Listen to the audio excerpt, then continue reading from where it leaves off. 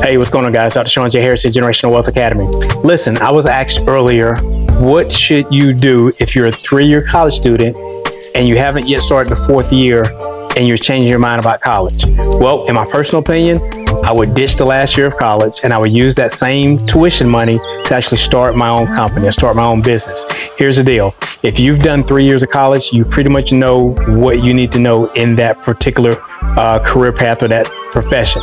So when I was in the Air Force, if I would have made it only three fourths of the way through, I knew enough that that last 25%, I could have learned that on the job training.